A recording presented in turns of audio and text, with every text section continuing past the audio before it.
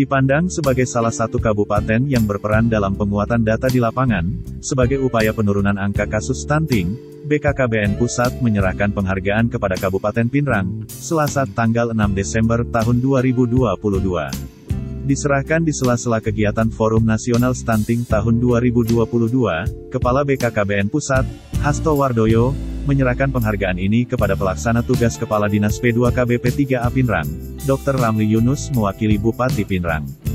Dalam laporannya, Kepala BKKBN Hasto Wardoyo mengungkapkan, penanganan stunting merupakan salah satu fokus pemerintah. Hal ini dimaksudkan, agar upaya menyiapkan generasi dan SDM unggul untuk Indonesia maju dapat terus dilakukan. Sementara itu, Wakil Presiden Republik Indonesia, Kiai Haji Maruf Amin dalam arahannya mengungkapkan bahwa, upaya penurunan angka kasus stunting menjadi salah satu program pemerintah.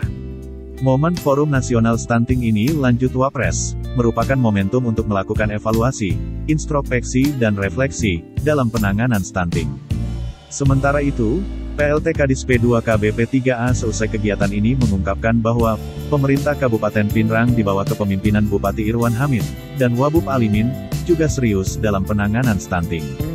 Hal ini dikuatkan dengan pembentukan Forum Penanganan Stunting, dengan beberapa program dan inovasi di dalamnya yang diharapkan mampu menekan angka kasus stunting di Kabupaten Pinrang.